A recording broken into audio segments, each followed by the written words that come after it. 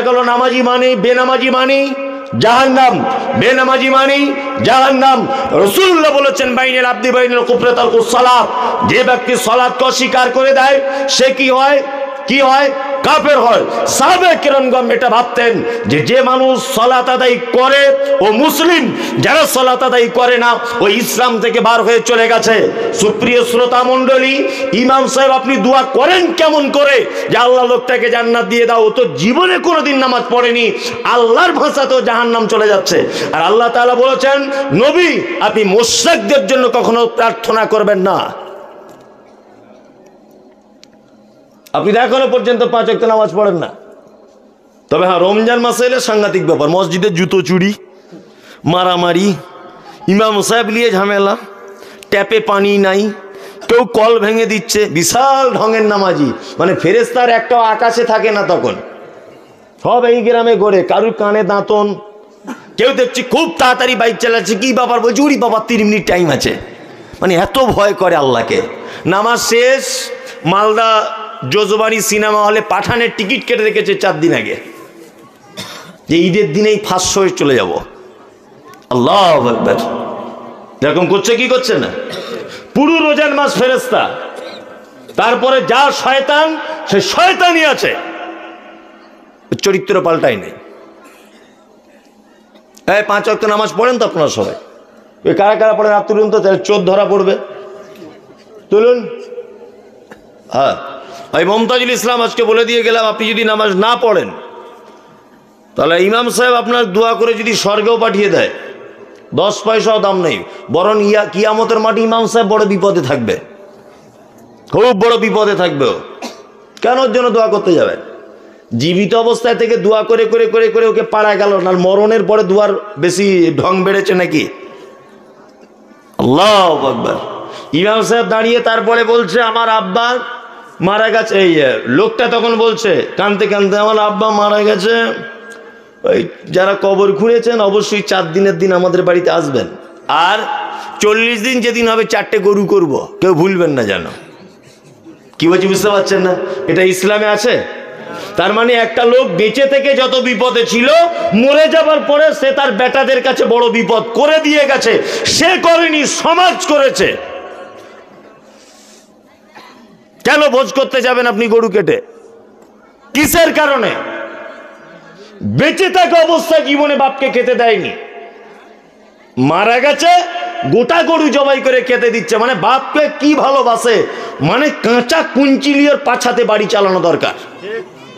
বিয়াদব কোথাকারে? বেঁচে থাকা অবস্থায় তোমার বাপ মাকে কোনোদিন খোঁজ নাওনি? হ্যাঁ আর মারা গেছে, আর ঢং করে গরু জবাই করছে। আর কিছু নিলজ্জ আছে সমাজে দেখতে পাচ্ছি, এই দাওয়াত বাড়িতে খেতেও যাচ্ছে। আশ্চর্য ব্যাপার। যদি বলছেন, এই বক্তব্যগুলো আমাদের গ্রামে না দিলেও হবে, আমাদের গ্রামে সব নেই। আপনার জন্য তো শুধু দিচ্ছি না। কাল সকালে যে সোশ্যাল মিডিয়াতে এরকম বেদাতিরা শুনবে লক্ষ লক্ষ। কি বলছি বুঝতে পারছেন না? সব কথা আপনার জন্য নয়। আমি জানি আপনার সহি আকিদার মানুষ। এ গ্রামে সব হয় না। হয় না তো? হয় না তো? হয় না। যদি বলছেন, তাহলে বলছেন কেন?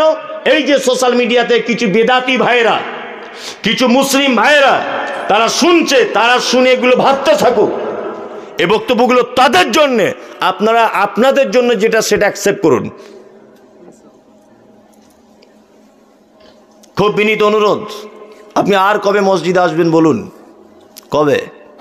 আপনার কি একটুখানিও শিক্ষা হয় না যে সিরিয়াতে, তুরস্কের মাটিতে কি ঘটনা ঘটলো? আল্লাহ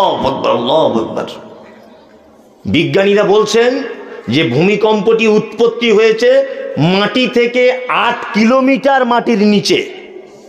পেপারে পড়েছি আমি, আট কিলোমিটার মাটির নিচে ভূমিকম্প হয়েছে।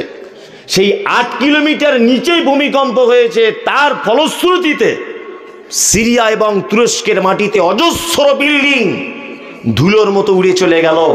কত নিরীহ নিষ্পাপ শিশুগুলি মারা গেল, ছটফট করে মারা গেল।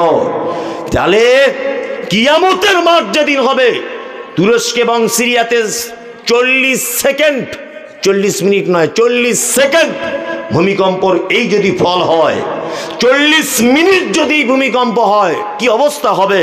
আল্লাহ তাআলা বলছেন ইজাজুল জিলাতিল আরজুল জালাহা ও আখরাজাতিল আরজাস কালাহা কিয়ামতের মাঠের যে সেদিন ভূমিকম্প, এই ভূমিকম্প হবে না। সেদিন ভূমিকম্প হবে, ঢালাই মেশিনের ভিতরে যেমন বালি ভরে দেওয়া হয়, পাথর ভরে দেওয়া হয়, সিমেন্ট ভরে দেওয়া হয় ওলট পালট করে দেওয়া হয় মহাদ্দেশগণ বলছেন, কিয়ামতের মাঠের ভূমিকম্প সেদিন ওলট পালট করে দেওয়া হবে। সেদিন বিভীষিকাময় দিন, দিনটা কেমন হবে? আল্লাহ তালা পবিত্র আল কোরআনের ভিতরে বলেন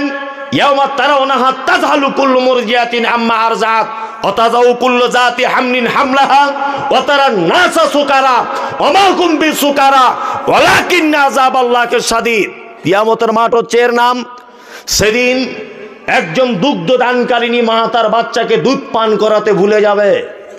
একজন গর্ভধারী মা তার বাচ্চা নিচের দিক দিয়ে পড়ে যাবে, বুঝতে পারবে না যে বাচ্চা কোথায় গেল। মানুষকে দেখতে পাওয়া যাবে, মানুষ মদ পান করে মাতাল হয়ে ঘুরছে। আল্লাহ তালা বলছেন আমা হুম বিসুকারা। একজনও তারা মদ পান করেনি। ওলা কিন্না আজাব নিশ্চয়ই তারা আমার কঠিন আজাবের ভয়ে মাতালের মতো কিয়ামতের মাঠে ঘুরছে।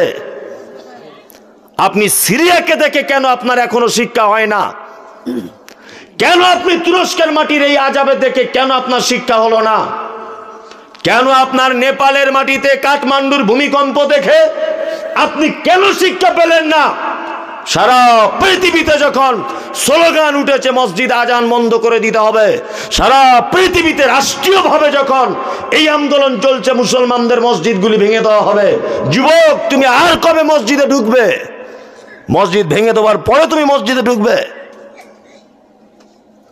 আর কবে?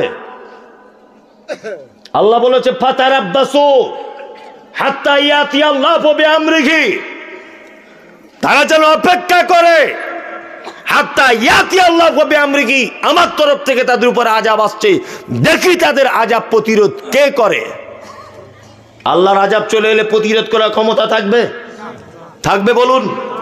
কিসের কারণে আপনি মসজিদে যাচ্ছেন? আপনার অবজেকশন কোথায়? কোথায় আপনার প্রবলেম কোথায় বলুন? যেই কারণে মমতাজুল সাহেব আমি মসজিদে যেতে পারি না। আল্লাহর কসম করে বলছে, আপনাকে আমি ছোট বড় বলতে আসেনি। আপনার জমির পাশে আমার জমি নেই, আপনার বেটির সঙ্গে আমার বেটার বিয়ে দেওয়া নেই, আপনাকে আমি আল্লাহর কসম চিনি না। শুধু আপনি আমার দিনী ভাই, আপনি ভুল পথে চলছেন, আমার দেখে কষ্ট হচ্ছে।